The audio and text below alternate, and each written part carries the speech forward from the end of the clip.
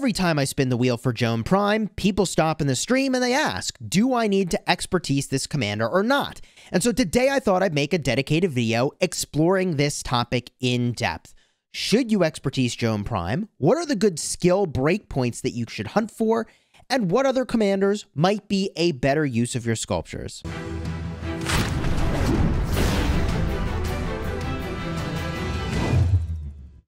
Hello, my friends, and welcome back. I'm Chisgule Gaming, and today's video is sponsored by the makers of Rise of Kingdoms. And I wanted to get a look at Joan Prime because of all of your feedback in my live streams. And by the way, if you haven't already subscribed, I usually stream multiple times per week, and I've got over 1,700 videos dedicated to making you a better player in Rise of Kingdoms.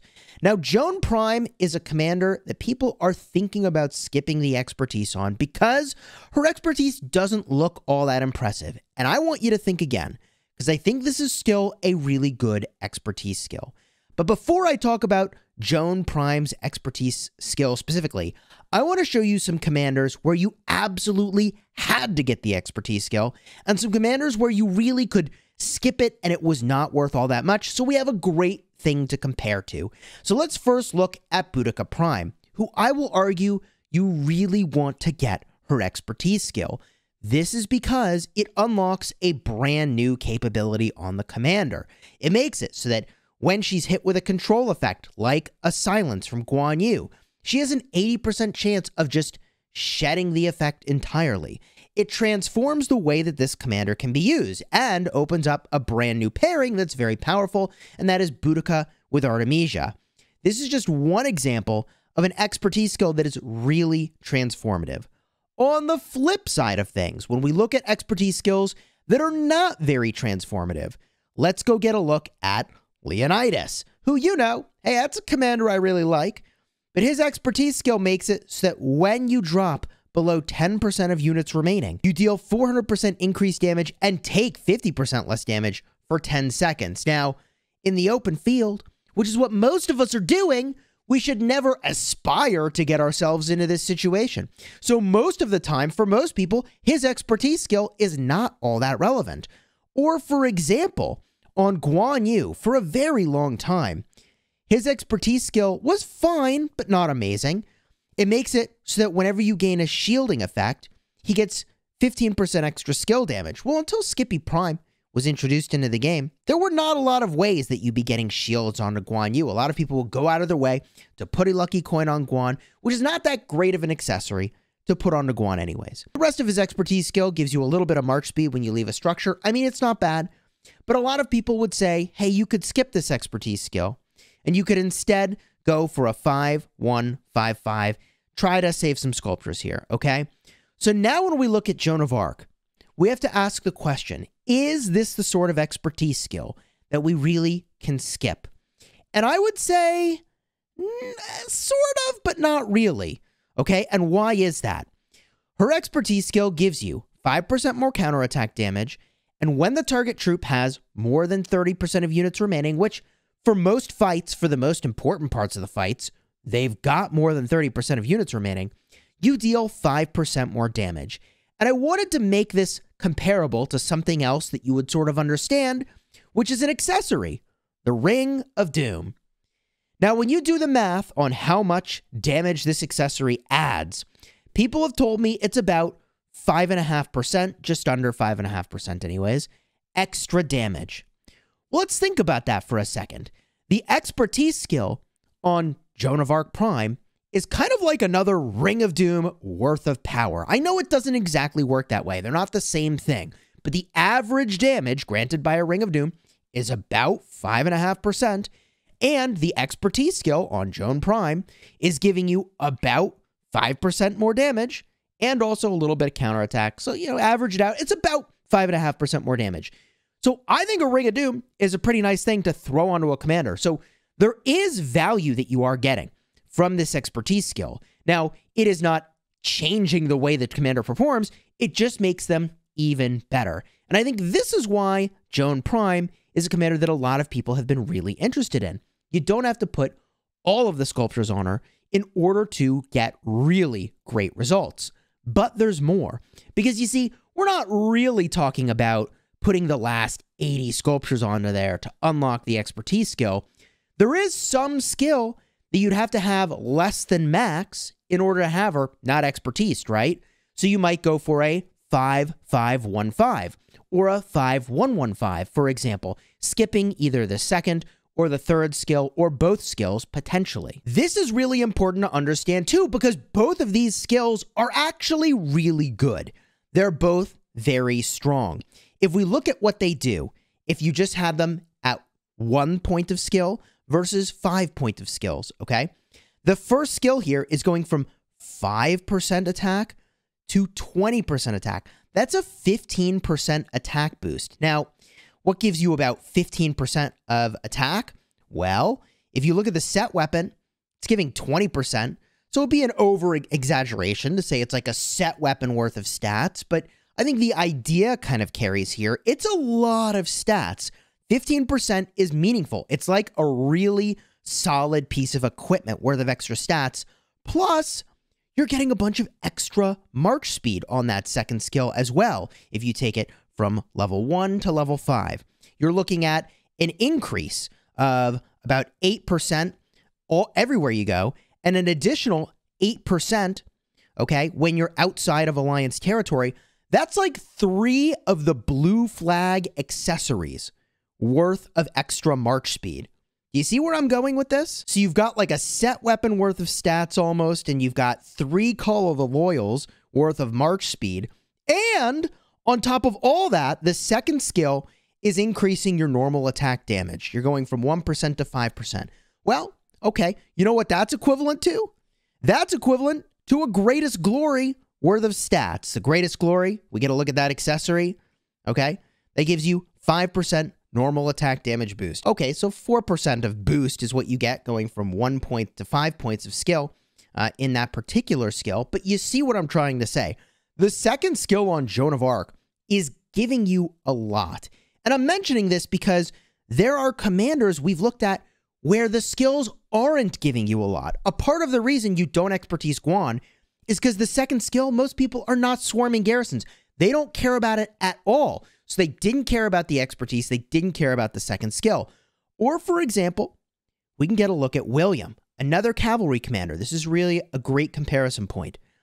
This skill that everybody skips out on is the fourth skill, okay? Because at the base level of this skill, it's giving your march 10% defense, and if you hit a target with your AoE damage, then it gives all of your nearby marches, well, five of them anyways, uh, a 10% defense boost as well, and 50 rage per second.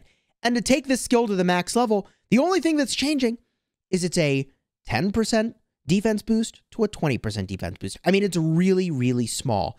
It's a very incremental upgrade to the amount of power that you're actually getting. And the expertise skill is doing a small amount of extra damage factor on your instant proc damage. So why am I trying to compare to William? Because unlike other commanders, okay, where the gain is really incremental or irrelevant on one of these skills, I'm trying to show you that on Joan Prime, every skill is actually really good. And people look at this third skill, and this I will argue and agree is the least important skill on Joan Prime. If you're going to take Joan Prime um, to some something less than maxed, but still pumping it up, 5515 is ideally what I, what I think you would shoot for. But this third skill is going to increase your cavalry damage by 5% when it's maxed. Well, 5% damage, we just talked about how that's like a ring of doom worth of extra punch. Okay, you're only getting 4% here, but the idea kind of carries that there's still a lot of punch in this skill over here. Plus, there's this periodic normal attack boost. So I did a little bit of really rough napkin math here, but it's a little bit less than a greatest glory worth of extra normal attack averaged out over time from this little boost you get when you use an active skill. All that to say that when you compare these skills to things that you are familiar with, accessories and equipment, Joan Prime and every skill on her actually looks really good. And what I like about the design of this commander is that you get incremental punch as you start to power her up, leading up to her expertise skill, which means you can use her really early even when she's unmaxed. So the earliest that I think you ought to hunt for using a Joan of Arc Prime is 5115. And that is because this last skill is just completely insane. Having your active skill fire off all over again is just really powerful, especially because it is such a powerful buff from Joan Prime. And I'm not really going to tell you that you could use this commander, okay, less than a 5115, but I will point out the weirdness of probabilities and randomness is that if you had her only 5111, sometimes you'll just get really lucky and you'll win the dice roll on the 50% chance of getting your skill to fire off all over again, and you won't notice all that much of a difference from a 5111 to a 5115. The reality is, however, that you get a pretty sizable average damage boost, and we can't count on actually being lucky. So 5115 is, I think, where you want to land with Joan Prime, and I think she's a solid commander to expertise. The only question then becomes do you have enough sculptures to do it?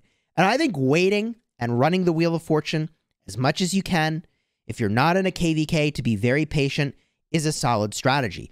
We know that at some point, range commanders are going to come into the game, and they're probably going to be powerful because I don't know why they would release something completely underwhelming into the game. I doubt that is the goal that the developers would have. So you want to have some amount of sculptures on hand. And if you're thinking, man, Chisco, I have a bunch of unmaxed commanders, you're telling me that Joan is somebody I should work on, but is there someone else I should work on more? I would say probably there are other commanders that you could work on more that either have some really big effect when they have their expertise skill, or are a commander that other people consider to potentially be better. As an example, on multiple occasions in my live stream, I've polled you all to see between Joan Prime and Nevsky, and the majority of people say Nevsky is the better commander. And that's about 75 to 80% of people advocating for Nevsky over Jones. So, in some ways, if you were to pick one of these commanders you're going to expertise, then probably the commander I would steer you toward is Nevsky, because his skills also are really powerful, and his expertise skill is also really solid. Troops led by this commander deal 5% increased normal attack damage. Okay, that's a greatest glory worth of effectiveness there. And he gets a 10% chance to increase his cavalry health by 30% for three seconds when he's being attacked. Can only trigger once every five seconds. So I would say there probably are more pressing projects than the Joan Prime. But just remember when you think about Joan Prime, she is still a good commander to expertise, and her expertise skill is still really valuable.